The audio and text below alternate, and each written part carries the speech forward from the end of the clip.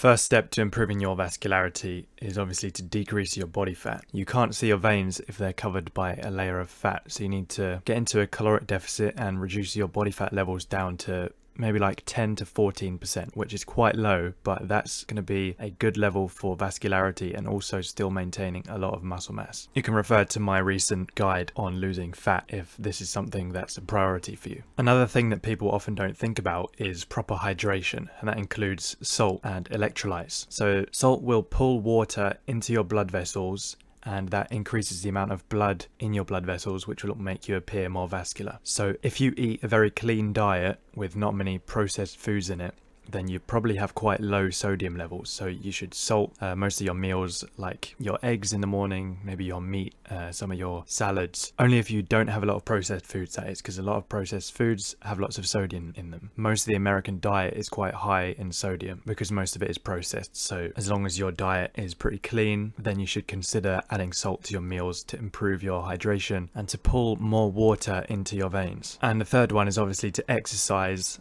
and increase your general activity level. So exercising will directly stimulate blood flow to the muscles that you're using, which is why you start to see veins while you're working out. Obviously, if you want forearm veins, then you should do forearm exercises like farmer walks, reverse grip curls, finger curls, and even just like holding a weight will increase the blood flow to your forearms because the muscles are using lots of ATP, which requires oxygen, which requires blood flow to deliver the oxygen to the muscles. Make sure you do quite high reps, like close to failure. You can do some isometric holds as well and reduce your rest times to retain as much blood in the muscle as possible. And the same tips apply to any other muscle group that you want to make vascular. So like your biceps, your shoulders, your chest. Most people don't have much fat on their forearms, so you can see forearm veins pretty easily, but other muscles require a lower body fat percentage for you to start seeing veins on them. Now to get into some of the more interesting details about how you can really optimize your blood flow to maximize the visibility of your veins. So nitric oxide is a really important compound that relaxes your blood vessels, which means they enlarge and more blood can flow through them, which obviously makes them more visible. This relaxation of the blood vessels is called vasodilation,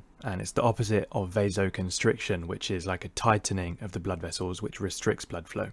You want to avoid vasoconstriction by staying warm, although cold exposure does have its uses. You want to avoid stress, don't smoke cigarettes, and avoid or minimize caffeine. All of these things will restrict your blood flow and make your veins less visible. So in order to increase nitric oxide, which is going to relax your blood vessels and make more blood flow through them, you can use citrulline and arginine. And these are amino acids which are found in food or you can supplement them. Citrulline is found especially high in watermelon. And if you combine this with sea salt, so you sprinkle a bit of sea salt on your watermelon, that's going to be really good for hydration and vascularity. Citrulline is also really high in cucumber, squash, and pumpkin. And arginine is another amino acid which is converted into nitric oxide in the body. And you can find arginine in nuts and seeds, meat, and dairy. Citrulline is a precursor to arginine, which means citrulline is converted into arginine in the body, and then arginine is converted into nitric oxide. So both of these are precursors to nitric oxide, and it's nitric oxide which relaxes the blood vessels and increases blood flow. Another way to increase nitric oxide is to nasal breathe. So breathe through your nose, and this releases nitric oxide from the nasal sinuses, and it then travels down the windpipe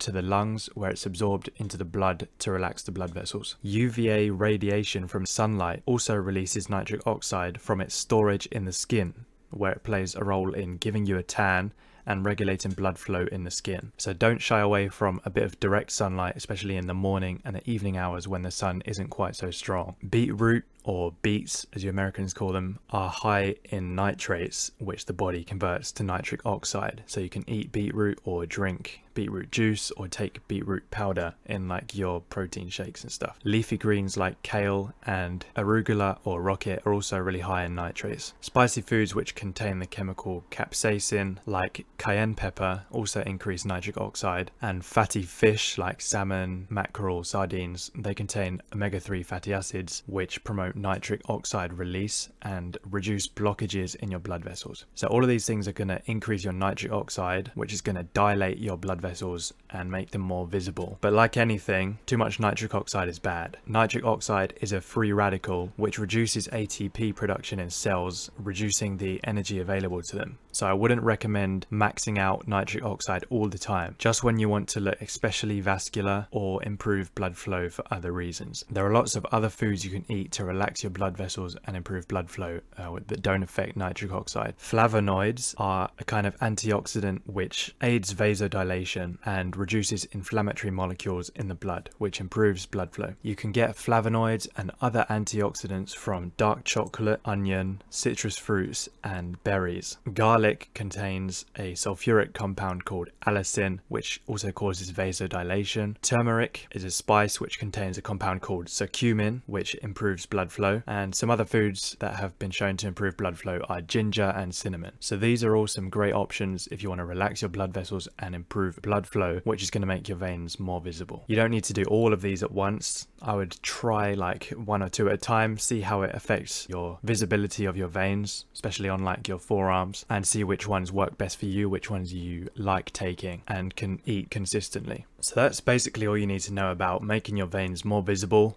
improving blood flow by exercising or reducing stress, making sure you're hydrated and eating certain foods that can increase your blood flow like watermelon, beetroots and pomegranate. I'll put a list of all the foods and supplements that can increase blood flow in the description so you can quickly reference that if you need to as a bit of a shopping list. But I hope this helps you. Let me know in the comments after like a few weeks if you try some of these, if your vascularity has improved. I know mine certainly has. Especially I find having more salt really helps me because I have a very clean diet already. Watermelon is really good pomegranate is really good and garlic especially raw garlic is also really good so thank you for watching and i'll see you in the next video